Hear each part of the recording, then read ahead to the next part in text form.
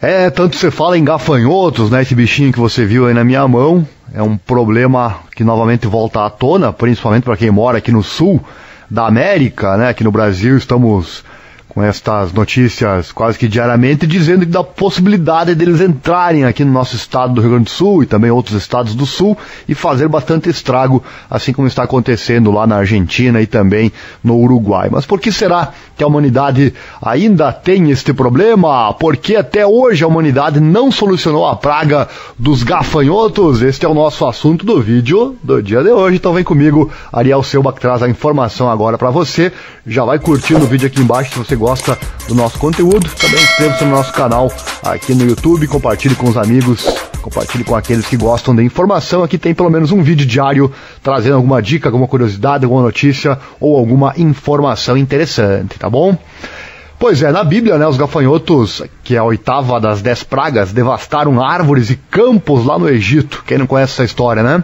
Nos registros do historiador romano Plínio o Velho, né? Plínio o Velho, 800 mil pessoas morreram de fome por causa de nuvens de inseto na região que hoje é, engloba Líbia, Argélia e Tunísia. A partir do fim do século XIX, há registros de infestações no sul do Brasil por décadas seguidas. Em Santa Maria, aqui no Rio Grande do Sul, conta-se que, ou conta-se até que uma nuvem de gafanhotos escureceu o dia de tão densa que ela era, olha só. Esses bichinhos quando se juntam meus amigos, causa aquele estrago, né? Bom, atualmente uma espécie de gafanhoto, a Xistocerca gregaria, consome plantações no leste da África, no Oriente Médio e também no sul da Ásia. Ameaça a segurança alimentar de 10% da população mundial e é considerada a praga migratória mais perigosa do planeta.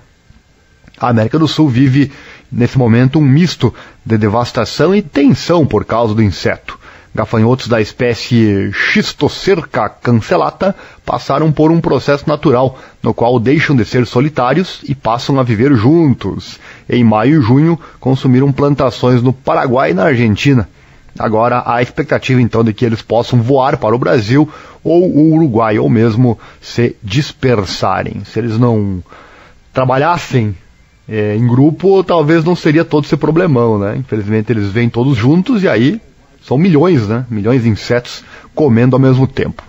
O governo argentino tem conseguido reduzir o tamanho da nuvem, mas condições climáticas e dificuldade de acesso ao lugar onde os insetos estão reunidos prejudicam o monitoramento diário. Ainda sem saber se será atingido ou não, o Brasil decretou situação de emergência previamente e publicou portaria com diretrizes e agrotóxicos recomendados para o combate da praga. O plano de ação cabe a cada estado. O fenômeno de explosão populacional de gafanhotos tem milênios, mas até hoje o homem enfrenta sérias dificuldades, né, sérias dificuldades para contê-lo. Mas não há muito a curto prazo o que fazer no momento contra nuvens dessa magnitude, com milhões de gafanhotos que devoram tudo o que vem pela frente e são capazes de voar até 150 km por dia. É o que explica Katia Mattiotti, pesquisadora do Museu de Ciências e Tecnologia da PUC-RS. Aspas para ela. Muitos agrônomos falam em aplicar o agrotóxico mais forte possível para a eliminação total da praga, mas o importante é fazer um manejo constante e sustentável a longo prazo das espécies antes que a situação chegue a esse ponto. Fecha aspas. Há quase 7 mil espécies desse grupo de gafanhotos, mas cerca de 20 podem formar nuvens e devorar lavouras nessa magnitude.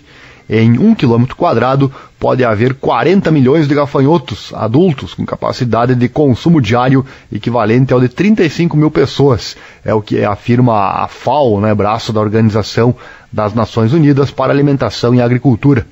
Uma nuvem do tamanho da cidade de Roma né, quase 1.300 quilômetros quadrados, por exemplo, tem consumo diário equivalente ao da população do Quênia, que tem 51 milhões de habitantes. Você analisa os números, realmente são de assustar, não é verdade? Bom, essa explosão populacional é atribuída por especialistas principalmente a fatores climáticos, como chuva, umidade e temperatura, que têm se acentuado por causa da ação do homem. Quando a conjunção favorece essas 20 espécies de gafanhotos com características gregárias, deixam a vida solitária para trás. Esse processo leva à mudança de cor, ao aumento da resistência a inimigos naturais e à liberação de serotonina no sistema nervoso do gafanhoto, o que afeta sua sociabilidade e seu apetite. Normalmente o inseto consome o equivalente a algo entre 30 e 70% de seu peso, mas essa taxa pode subir para 100% em certas condições. Vendo essas imagens, eh, imagens que estão aqui em anexo nesta matéria, onde eles estão é, repousando sobre as árvores, realmente é de assustar, não é verdade? Você vê toda aquela quantidade, praticamente a árvore some, né? E fica, você verifica apenas os bichinhos, né? Que coisa maluca. Bom, Seguindo, gafanhotos habitam o planeta há pelo menos 300 milhões de anos, segundo dados coletados em fósseis e com bastante êxito, adaptados a diversos ecossistemas. Esses insetos, que em geral medem de 3 a 8 centímetros, desempenham papel ecológico importante na troca de nutrientes do ambiente, ao controlar o crescimento de plantas e transformar tecido de planta em tecido animal, se tornando uma rica fonte de proteína para predadores, incluindo o homem, por exemplo. Interessante isso também, você chega lá e mata todos eles e aí causa outro problema, né? Eles desempenham, como todos os seres vivos desse planeta, desempenham importância em prol do equilíbrio aqui da nossa biodiversidade. E quão difícil é combater então essa nuvem de gafanhotos? Vamos lá. Uma espécie de gafanhoto é considerada praga quando passa a disputar espaços e recursos com o homem, causar prejuízos financeiros e ameaçar a segurança alimentar de populações humanas, além de, de atender outros critérios, né? tamanho, duração, surto e mais uma conjunção de fatores climáticos como níveis de temperatura, umidade do ar, chuvas e ventos favoráveis à sua reprodução pode estar por trás do fenômeno. Há também influência do uso excessivo de agrotóxicos e da prática da monocultura, que pode eliminar predadores naturais como aves e sapos e ampliar a quantidade de alimento disponíveis. A própria o próprio descontrole da população deles já pode ter a ver com isso, né? A, a, o, nosso, a nossa biodiversidade estar desregulada. Obviamente, se os predadores naturais estão em menor quantidade, sem dúvida os gafanhotos acabam aumentando em sua quantidade.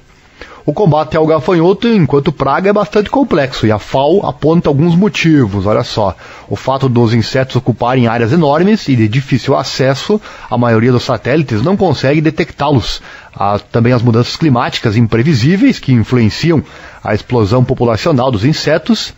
É, falta de recursos para monitorar e controlar populações de gafanhotos em países vulneráveis e assim prever surtos é, e escassez de profissionais treinados em monitoramento e combate é, com coordenação falha entre os países atingidos, dificultando então a, aplicação de pesticidas diretamente nos gafanhotos em razão do tamanho das nuvens e da capacidade do voo, que já citamos antes, que é de até 150 km por dia, né? bastante, bastante, uma capacidade bastante alta.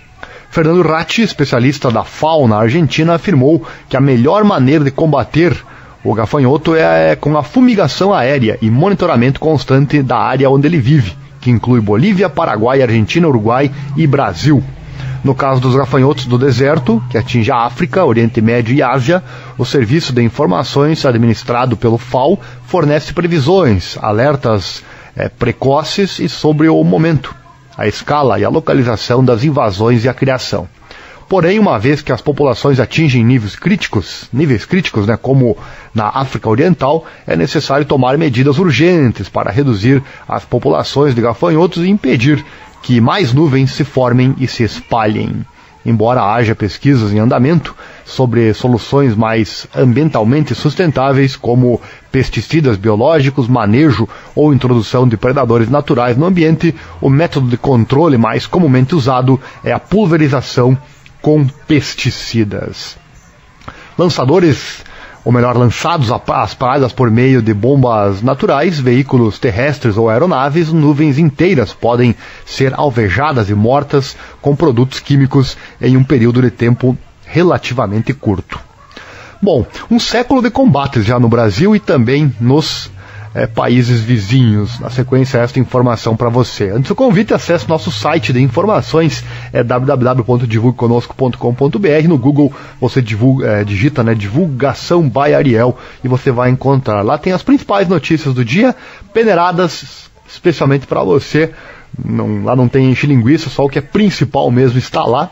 E a principal delas eu separo e aí vira o nosso tradicional vídeo do dia, que é isso que você está assistindo aqui nesse momento. Acesse nossa loja de computadores e periféricos, é site hospedagem.com.br barra loja. Lá você negocia conosco via internet mesmo. Um computador, uma peça, um serviço na área da assistência técnica, tudo de forma remota, caso você resida longe aqui da minha localidade. Também streaming de áudio, hospedagem de sites e muito mais. Enfim, tudo que você precisar na área da informática nós temos para você, site hospedagem.com.br. E claro, é, curta aqui o nosso canal do YouTube e também é, inscreva-se no canal, mas isso, claro, você já sabe, não é verdade? Eu sei porque meu pai contou tudo para mim. É, pois é, então tá dado o recado, né? Deixe o seu like se você estiver gostando, mas claro, se você não gostar do conteúdo, o seu dislike também também pode ser realizado, tá certo? Queremos a sua sincera opinião aqui no canal. Continuando então, há registros de infestações de gafanhotos na América do Sul, pelo menos desde o século XVI, a exemplo dos relatos do padre chileno Alonso Del Valle sobre o ar cheio de gafanhotos na Argentina e a farinha que indígenas faziam dos insetos queimados em arbustos, olha só. Mas só três séculos depois esse problema passou a atingir significativamente a agricultura da região.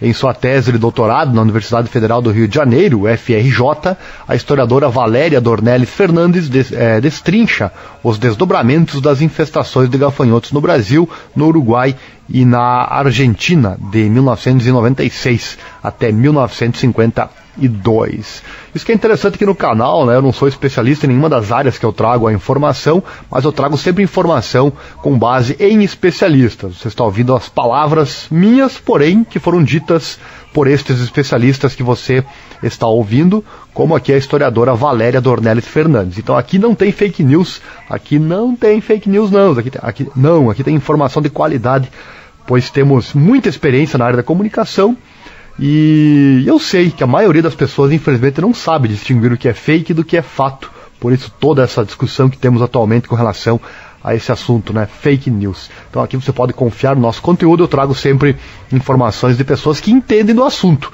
E assim é garantido que a informação tem qualidade, certo? Por isso que eu insisto que você curta e inscreva-se no canal, assim você nos ajuda a crescer e também recebe a informação, fica sabendo dos vídeos aqui postados. Então, segundo a historiadora Valéria, a história das infestações de gafanhotos na América do Sul é, em parte, a história da expansão agrícola nos países do subcontinente. Na Argentina, a agricultura e a extração de madeira se aproximaram da zona de origem do gafanhoto, o Gran Chaco. Fernandes afirma que a alteração da paisagem é, para a agricultura do, no bioma Pampa teve um certo papel na ampliação do fluxo migratório do inseto, que passou a ser atraído por uma maior oferta de alimentos, mas este é um fator adicional, como o movimento dos ventos e corredores ecológicos. Para a historiadora, os principais fatores que desencadearam explosões populacionais foram eventos climáticos. Ao longo das décadas, cada país lidou com a praga agrícola de acordo com suas prioridades. A questão era central na Argentina, por afetar o mercado exportador e lateral no Brasil, por atingir principalmente lavouras de subsistência e por extensão agrícola é, na, na, dos agricultores pobres na região sul. Marcos Gerhard, professor de História da Universidade de Passo Fundo, é, analisou documentos de autoridades municipais e entrevistou agricultores atingidos pelas nuvens de inseto no início do século XX. Segundo ele, havia pânico e medo do prejuízo econômico decorrente da perda do cultivo. Recorria, é, recorria-se então a uma série de técnicas e equipamentos. Imagina só você imaginar que pode perder toda a sua produção quando esses milhões de insetos atingirem a sua lavoura, né? Sem dúvida o pânico pode sim se instalar. Ele diz, abre aspas, às, às vezes dava certo, às vezes não. Diminuía, mas não eliminava o problema. Governos municipais estavam também empenhados em ajudar os agricultores, mas não havia muitos recursos para todos naquela época, fecha aspas. De acordo com Fernandes e Gerhard, o combate à praga era principalmente manual, até os anos 30. Os métodos então passavam por é, barulho com latas ou varas de madeira, lança-chamas, uso de fungos, queimada de arbustos, arado para expor os ovos, valas comuns para incinerar ou enterrar vivos gafanhotos que ainda não voam, barreiras metálicas, caixas ou sacos de captura, entre outros. Para ter uma ideia, nenhum dessas, desses métodos vai eliminar o problema, vai, vai principalmente impedir que ele cresça, né? Abre aspas, o trabalho tem sido insano e fatigante, mas felizmente parece-me que a maioria dos agricultores salvarão as suas plantações, fecha aspas, escreveu o intendente municipal de Ijuí, aqui no Rio Grande do Sul, lá em 1917. O uso de produtos químicos começa a ser difundido na América do Sul a partir dos anos 30 e os, os de aviões na década seguinte. Depois da Segunda Guerra Mundial, de 39 a 45, houve uma grande difusão de uso de químicos na agricultura e contra o gafanhoto, em especial o hexaclorobenzeno, BHC, pesticida organoclorado conhecido como pó de gafanhoto. Por causa da sua toxicidade, a venda e o uso do BHC acabariam sendo proibidas no Brasil em 1985. Então hoje temos os venenos, mas obviamente existe o ponto negativo também, né? E as regiões agrícolas de subsistência são as mais vulneráveis à devastação causada por nuvens de gafanhotos, e a situação pode se agravar ainda mais. Abre aspas, condições mais secas no futuro, no norte e no sul da área de distribuição de gafanhotos do deserto, podem produzir habitats mais favoráveis para esta espécie e podem ter impactos negativos significativos, diz o etimologista Mitchell Lecoq. É isso? um dos maiores especialistas em gafanhotos do planeta. Abre aspas para ele. Os riscos em termos de danos às culturas, pastagens e, em última instância, a segurança alimentar e social de muitas pessoas pobres nos países em desenvolvimento podem ser enormes, fecha aspas, adverte ele. E quanto o gafanhoto consegue comer? Vou deixar aí um gráfico para você, uma imagem né, que mostra uma balança, né, a quantidade que o bicho come, né? Que loucura! Mas não apenas as safras produtoras de alimentos estão em risco. No Paquistão, as autoridades têm lidado com uma infestação que ameaça as plantações de algodão, um produto responsável por quase metade das exportações do país. A maior crise recente na África Ocidental, de 2013 a 2005, causou perdas de 2,5 bilhões de dólares, quase 14 bilhões de reais, segundo a ONU. O continente enfrentou nuvens devastadoras nas décadas de 30, 40 e 50, e algumas delas se espalham por diversas regiões, atingindo o patamar necessário para serem classificadas como pragas. Em linhas gerais, a FAO estima que o gafanhoto do deserto afete a subsistência de uma a cada dez pessoas do planeta, tornando essa espécie do inseto a mais perigosa peste migratória do mundo atualmente. Hoje, nuvens de gafanhotos do deserto atingem áreas do leste da África, do Oriente Médio e da Ásia, incluindo a Índia. No auge da crise em 2019, consumiam 1,8 tonelada de vegetação por dia, em uma área de 350 km, segundo a FAO. Durante os períodos de, de calmaria, conhecidos como recessões, o gafanhoto do deserto geralmente vive em áreas mais secas, onde a quantidade de chuvas não passa de 200 milímetros por ano. A região afetada consiste em 16 milhões de quilômetros quadrados ao longo de 30 países. No período em que se tornam pragas, os gafanhotos do deserto se espalham para uma área de 29 milhões de quilômetros quadrados em 60 países, ocupando uma área equivalente a quase 20% da extensão da Terra do planeta. Que coisa, né? 20%. Para Keith Kussman, especialista da FAO de monitoramento de gafanhotos, a situação poderia ser ter sido atenuada, com maiores e melhores controles em alguns países-chave para a reprodução deste inseto. Chama atenção o tamanho dele também né, nas imagens que você está verificando. Mas controlar populações tão grandes de insetos em áreas enormes e remotas continua sendo um desafio logístico. Aspas, você nunca sabe realmente qual porcentagem da população de gafanhotos que você conseguiu atingir É, por esse motivo, diz Chrisman, é crucial dar as mãos e compartilhar conhecimentos e habilidades para evitar uma maior deteriorização da situação. No entanto, para o agricultor que é, keniano Ali Bilawaku, essa ação chega tarde demais. A única coisa que ele e sua família puderam fazer para combater as pragas quando elas chegaram foi bater em latas e gritar. Olha só. Abre aspas, é a vontade de Deus, este é o seu exército, diz ele. Imagina só ah, o medo né, da, dos produtores rurais. Né? E para finalizar aqui, pragas do Egito. O imaginário coletivo acerca dos gafanhotos é bastante associado às dez pragas do Egito, descritas na Bíblia e também no Alcorão. Segundo o Velho Testamento, o profeta Moisés ouve de Deus que deve pedir ao faraó egípcio que liberte os hebreus escravizados, mas o monarca se recusa. Deus fica irritado e decide então lançar dez pragas contra o Egito e seu povo em torno do século 13 a.C. O faraó só mudaria de ideia de acordo com o livro de Êxodo, depois da décima praga, a morte dos primogênitos.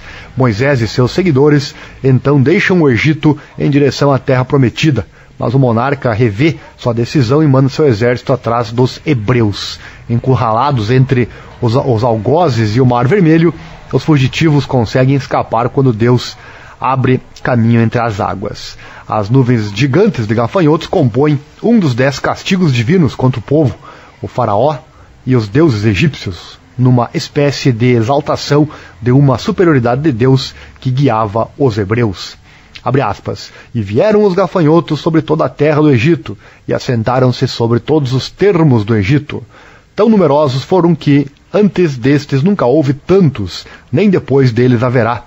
Pobre, é, ou melhor, porque cobriam a face de toda a terra, de modo que a terra se escureceu, e comeram toda a erva da terra e todo o fruto das árvores, que deixariam é, a saraiva, ou que deixara a saraiva e não ficou verde algum nas árvores, nem na erva do campo, em toda a terra do Egito. Fecha aspas, palavras da Bíblia, né?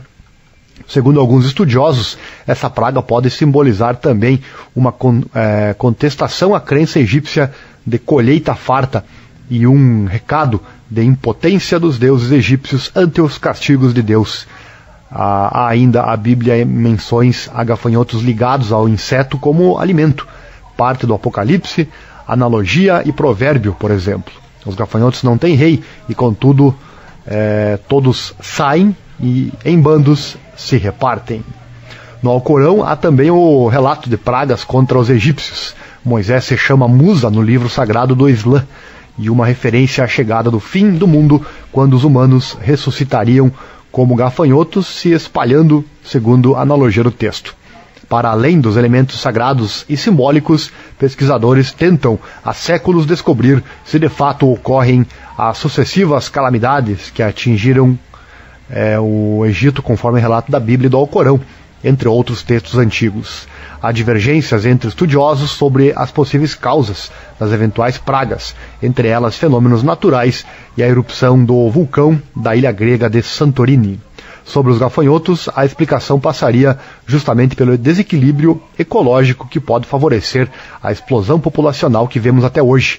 Além do mais, a nuvem de insetos de proporções bíblicas poderia servir até para explicar outra praga, a da escuridão no céu do Egito. Será? Esse texto aqui se referindo a essa parte final aqui, a Bíblia, me faz refletir o seguinte, né? É, muitas pessoas, e eu digo infelizmente, não acreditam mais nos ensinamentos da Bíblia, até em Deus, né? Mas eu fico pensando aqui, será que alguém teria sido tão criativo assim para inventar tudo isso que está descrito na Bíblia? Eu acho bastante interessante, o livro mais lido e mais vendido no mundo até hoje. Tem tantas histórias, será que é tudo invenção? Fico me perguntando aqui e deixo essa minha dúvida para você comentar aqui embaixo deste vídeo. Gostou? Deixa o like, não gostou, dá, dê o seu dislike, não importa, eu quero a sua opinião. Inscreva-se no canal, acione o sininho, clique em todas as notificações e obrigado pela audiência em mais um vídeo do dia. Esta foi a informação mais interessante que eu separei para você aqui no dia de hoje, tá bom? Esse bichinho, esse gafanhoto que está incomodando e deixando os seres humanos aflitos, porque até hoje a humanidade não solucionou a praga dos gafanhotos, né? A explosão populacional recorrente é atribuída por especialistas principalmente a fatores climáticos como chuva, umidade e temperatura, que tem se acentuado por causa da ação do homem. Quando a conjunção favorece, quase 20 espécies de gafanhotos deixam a vida solitária para trás e passam a devastar lavouras em nuvem. Obrigado, um abraço e até mais.